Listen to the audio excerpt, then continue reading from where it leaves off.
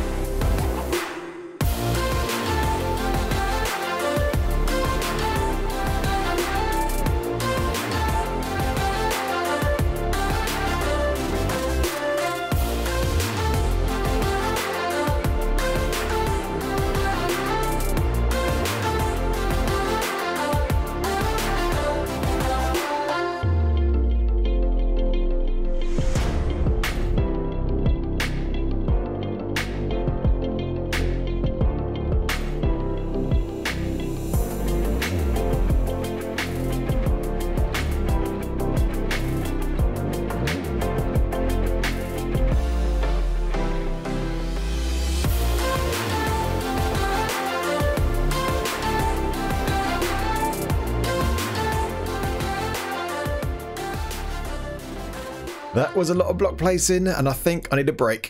I need to I need to have a rest from doing this block placing and do another type of block placing, I guess. But uh, yeah, we've uh, done quite a lot. So we've got this kind of top bit now. Um, so this is looking pretty good, and we've still got a massive hole here, but uh, the hole is getting smaller. so uh, yeah, we've got the bridge to do up here and the shield generators above, things like that. But that is going well. Um, but yeah, we're going to do do something different. But before we do that, I think I want to turn this farm on. It's been off for a while. So let's um let's do this and make sure it's still working all right. So hopefully we'll get some golems spawning. If we go over here, fingers crossed. There we go. Yes, two golems. Awesome. All right, so that is good stuff. So the next thing to do is to go down there and uh, and work on the uh, collection area for the items, I think. Uh, but before we do that, let's have a look at how much progress we've actually made. So if I pull up my materials list from Litematica, right at the very bottom, it says progress done 80, 80%, 80.3% done. So less than 20% to go. That is pretty good. Pretty good going. All right, so I feel, feel good about that. And as I, obviously, if, you, if I scroll down this list, you see we're getting some getting some green numbers now, that zeros missing. So that is good stuff. All right. Very good, very good. So the next job then is down here. Um, obviously, we're going to have our killing area, so we've got a few columns down there. Got four four columns still there from before. So if I just land here, there they go. these columns are going to make light work of these Endermen. But um, yeah, so the next thing to do is to work on the collection area underneath. So I want to get a shulker box loader and all that kind of stuff. So I think what I'm going to do now is I'm going to hop into a test world and uh, work out how I'm going to do the redstone and then we can get it in place. After a few hours in my test world, this is what I've come up with. So I think, uh, yeah, let me give you a quick demo of it and then I'll explain it uh, before we actually build it up in our world. Um, yeah, so uh, it should be hopefully okay. So this uh, this uh, cobblestone right here, this is where the golems are going to be standing and this is where they have a fight with the enderman and beat them up. And of course, all the drops end up on top here. And then underneath we have this hopper minecart, which is what we currently have already. So uh, let's let's give it a try. If I throw down some iron and some ender pearls and some poppies. Oh, my can't stop, of course. So let's pop that in there and that in there as well. Okay, so a whole bunch of stuff goes in there. And then what we should see is that the iron should make its way into the shulker box. Yes, that is good. Very good. And anything else should end up in this dropper right here, and then it'll get spat out into this fire. Now, originally I was going to just uh, fire it up into the void, and it just gets deleted. But because we want to break this shulker box and have it fall down, oh, there it go. There's all the other items getting deleted because we don't need those. Yep, awesome. Yeah, so uh, yeah, I didn't want to put it in the void because uh, this what this uh, shulker box we're going to break it, and there's nothing underneath, so it's going to fall down, and we want to catch that into the water stream. And I didn't want to get any kind of uh, any of these items getting there confused with that kind of stuff. So that is all good. So we should only have iron in here. Yeah, very good. All right, so let's fill this up all the way, pretty much uh, until the end. So only do that again. There we go if I can do that, there we go. So only half a stack to go in that shulker box. So let's do that. Now, if we go to this minecart and get another half a stack of iron, let's take these out so it's nice and quick. And then we should see, hopefully, there you go, it's filling up. All right, let's see what happens when it gets filled up. It should break the shulker box, and the shulker box should fall down and and land obviously here. But uh, we'll catch that in. There it goes. That one falls down.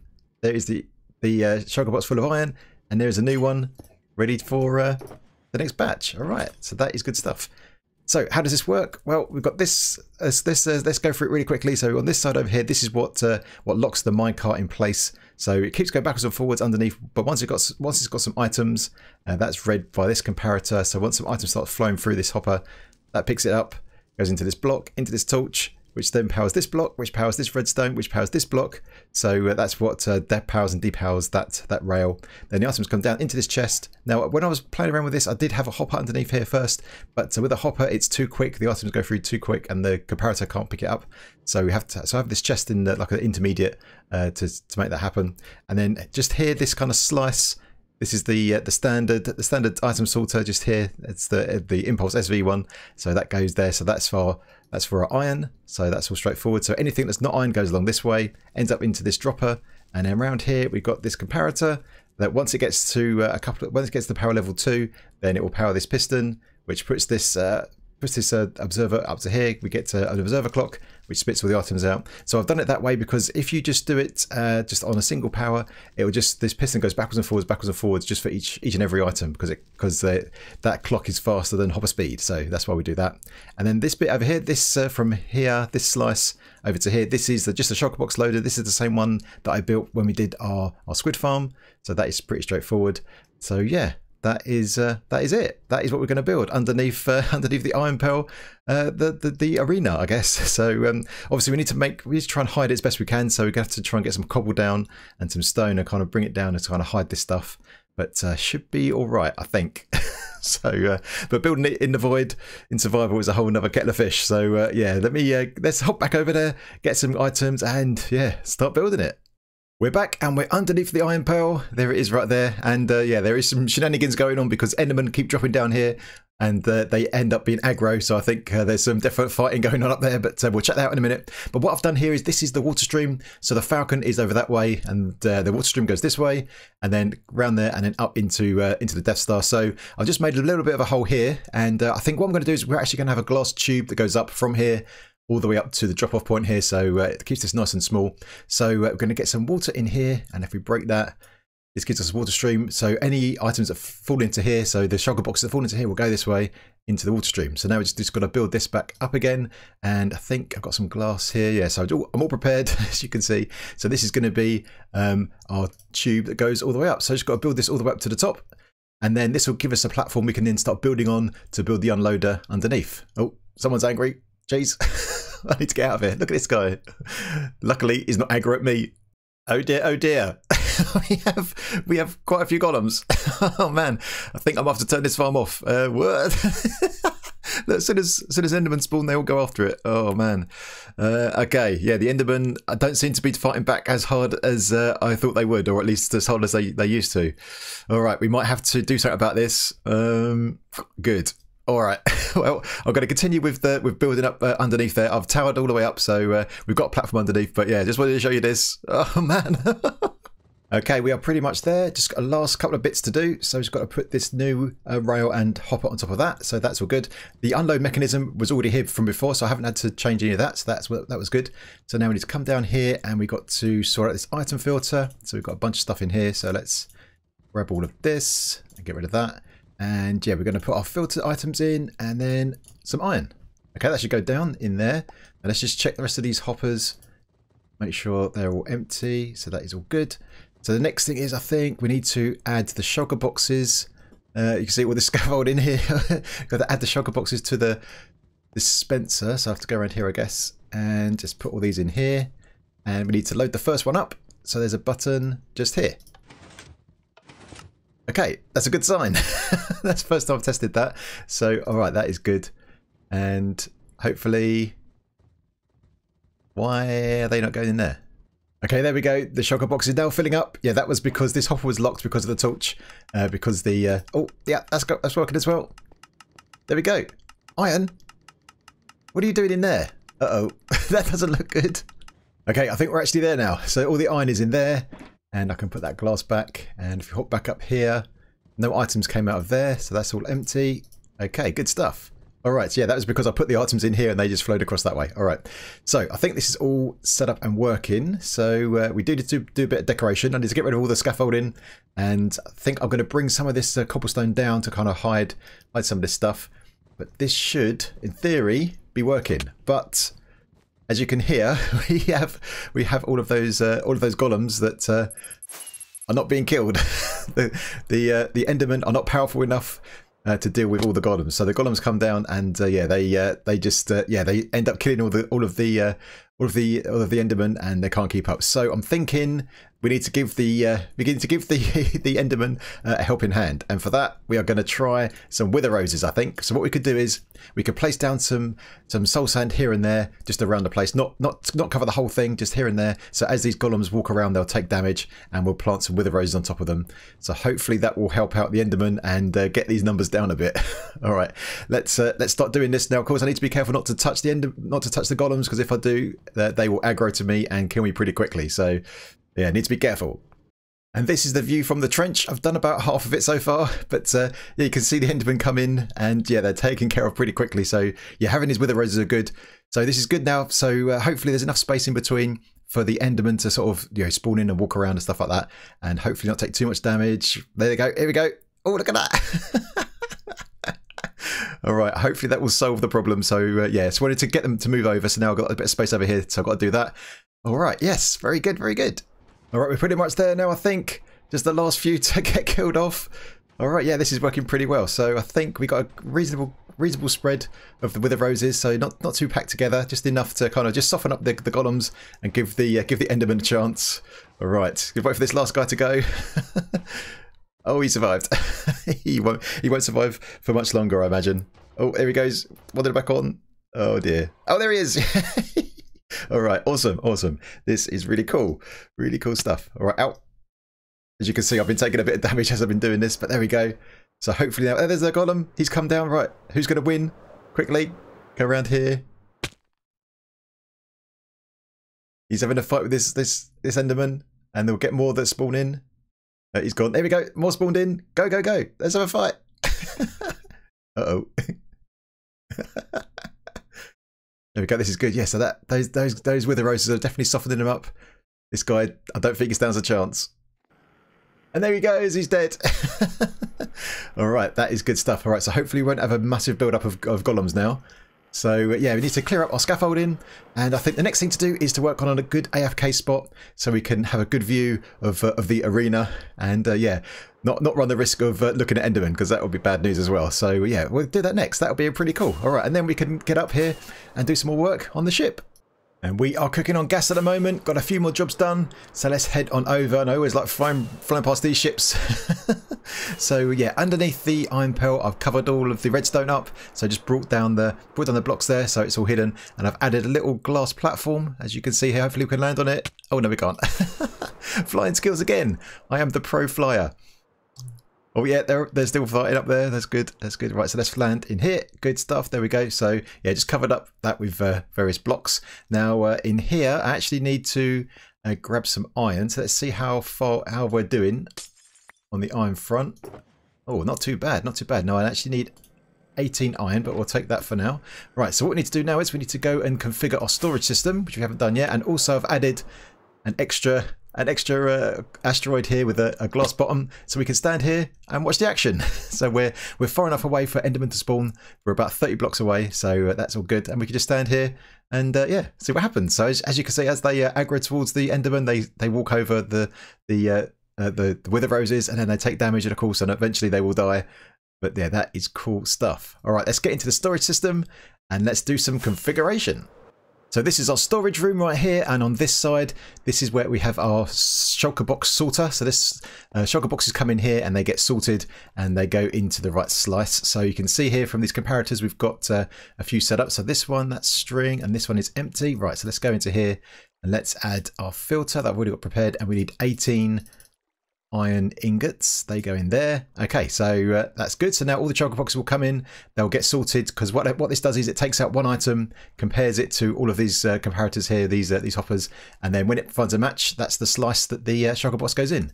So now underneath, next to the string, we can now add an iron ingot. Okay, so the iron shulker boxes will appear in here eventually. So uh, Nothing there at the moment, but hopefully in due course we'll get one in there and that will be pretty cool. Pretty cool to have iron coming in here automatically. Obviously we've got loads still over by the Iron Man, uh, but yeah, that's, uh, that's a nice addition. All right, so I think the next thing I think is to work on the ship. I think we're back. I think we need to uh, do some more placing of blocks. So let's go back over there and let's get the grind done and get this ship finished.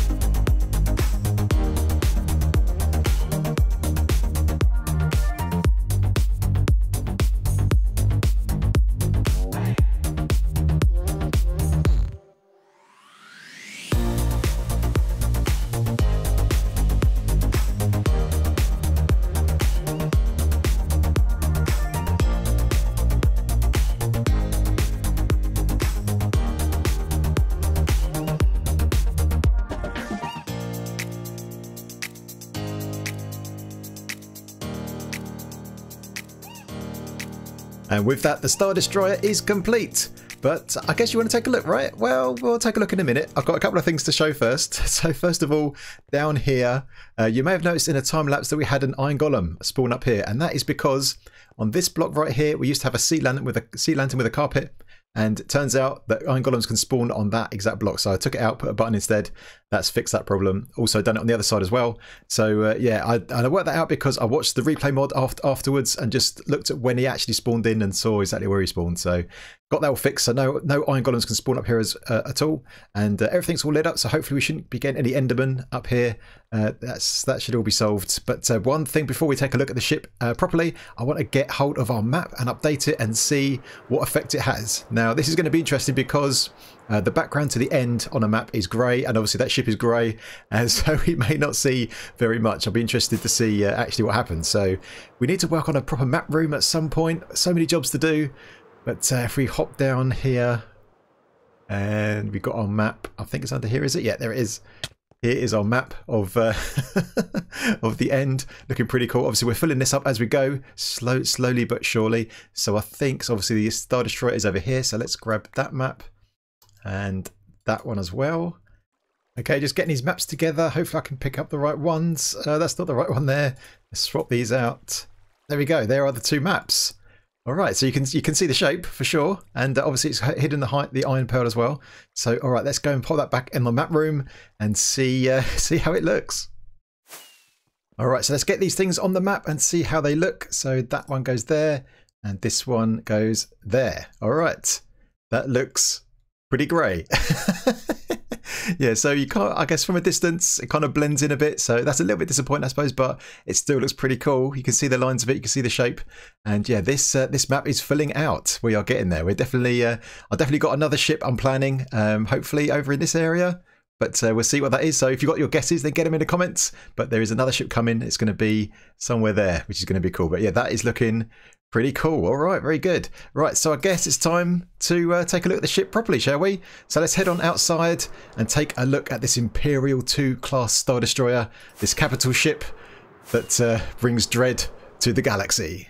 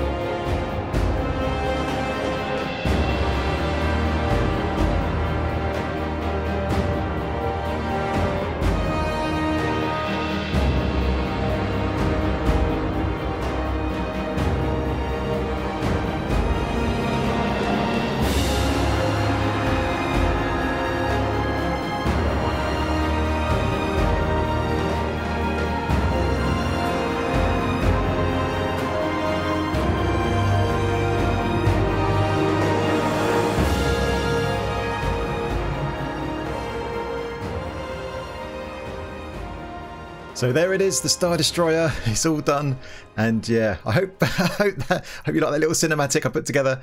But uh, let's have a little fly around to just take a look at this thing. Oh, brilliant! I love I love oh, the shape of it is really good. I'm really glad how the shape how the shape came out. That kind of profile all kind of matches, looks good, and uh, the back as well. There's loads of detail in the back, and I'm really pleased with how that how that turned out. If I can look like this, there we go. Look at the back of that. Look at those engines. Oh, brilliant. Really good. Really good stuff. So there's a whole bunch of detail. Like if I land in here, if I land, maybe we'll be able to see it. Maybe I'm too close, but there you go. You get to see the the kind of grandeur, the kind of all the detail. The yeah, they've got we've even got buttons underneath here. Really tried to go to town on the detail, using some walls and stairs and stuff, trying to get that that uh, that cylindrical shape. You know, the round shape of the engines.